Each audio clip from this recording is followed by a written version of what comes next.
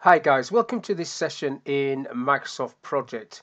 In this module, I want to show you how you can link your project data to an Excel template.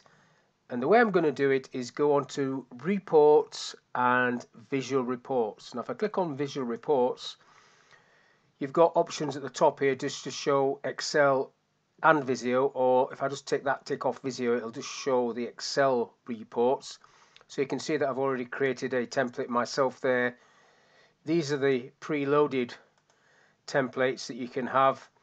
And under resource summary, I've just, just created that. But I'm going to create a new template and click on new template to show you how this works. So if I select Excel, it's based on resource summary. So I'm, I'm dealing with resources really.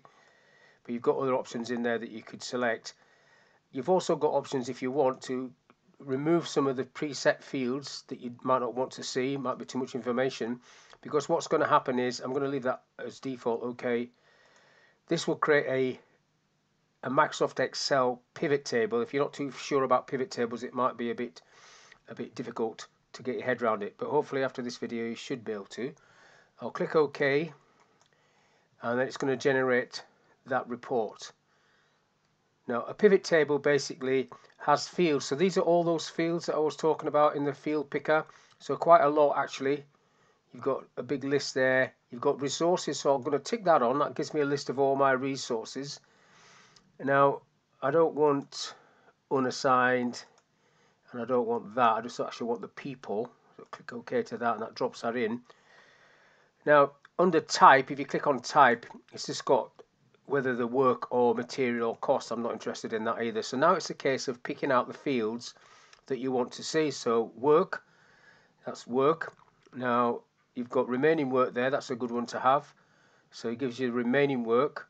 Now this is dropping fields. I'm ticking these boxes and it's dropping them where it thinks it should go. So if I put values, for example, over there, now that I like that better, so I'm going to leave that like that. That's what pivot table is. You just manipulate the data like so.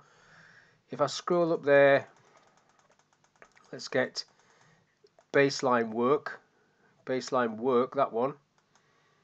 So that's the baseline. I've already saved a baseline in, in project. And I think that'll do actual work. Let's go for that one as well. So I've got four columns, actual work slightly different. So all these figures are slightly different. Now with the pivot table, the top here you've got pivot table analyze. You can get yourself a little pivot chart and then I'll just pick the default one.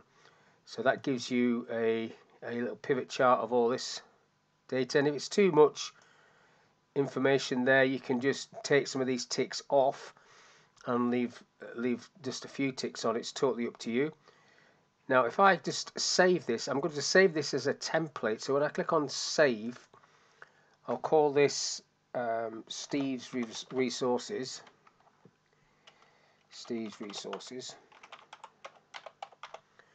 It's going in the templates folder and that means it'll be available to open up in Excel as well. So if I save that, it's saying do you want me to save this as a template and basically clear external data so every time I open this in project it will regenerate this file. I was going to say yes to that. So I'm just looking at 76 work 46 remaining work, actual work and uh, baseline work and actual work. So what I'll do is I'll close this down and I'll make some changes and just close this. Now when I open this again, that report will be in there. But what I'm just going to do now is just make some of all of these complete actually. I'll just do it. This is something I don't like to do, but for this demonstration I will do. Just click on that. So everything's complete. So the report itself should have changed. If I go back to report and visual reports, now go to resource summary and that template that I created is now sitting there which I can run and then the chart should pick up the changes. So remaining work zero, so it has changed actual work against baseline work. So that's how you can set up a pivot table. Now if you're really really keen you could go into the pivot table itself, and I should have perhaps done this before, you can change the layout of it uh, and mess about with the, the, settings in the pivot table. You can click on things and go into value field settings for example and change how things look if it's if it's not grayed out so this has got no calculation but then you can select that as a percentage of column total which I'll just try that one see what happens here so that's given me a percentage of the column total. So what you'd really do there is that was the work field. So to get this to work properly you'd bring the work field down again. I'm just going to drag that down. So you have work that's the hours that's the percentage of total work. And then you can if I right click on this you can just sort this. So what I should have done first off is set all this up. I'll go largest to smallest so that goes to the top. Did all this before I saved the template because this is like a copy of that original template. So this says Steve Resources 1 that's a copy of it not the actual template. So if I ran that report again in, in project up here it would be not showing not showing that. So I should have done that beforehand.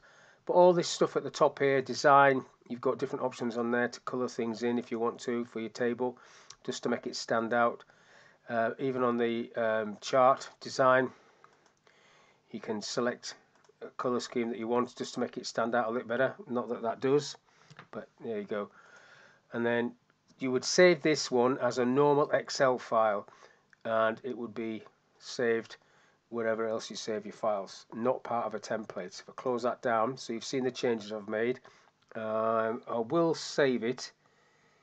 It's going to go in templates there so I need that to go into documents so it's going to save it in documents. So I can come back to this but it's like a snapshot it's not updated. I'm back into this. Now if I go into that again run that again it will open the original template which has not been changed. So that's just the default one and it's saying Steve resources again and then again you go through the process and save it over and over again. But that's all I want to talk about in this little video how you can link your project data into an Excel pivot table and then manipulate the data in a pivot table and manage charts and things like that. So hopefully this has been of use. Thank you for your time and I'll catch you on the next one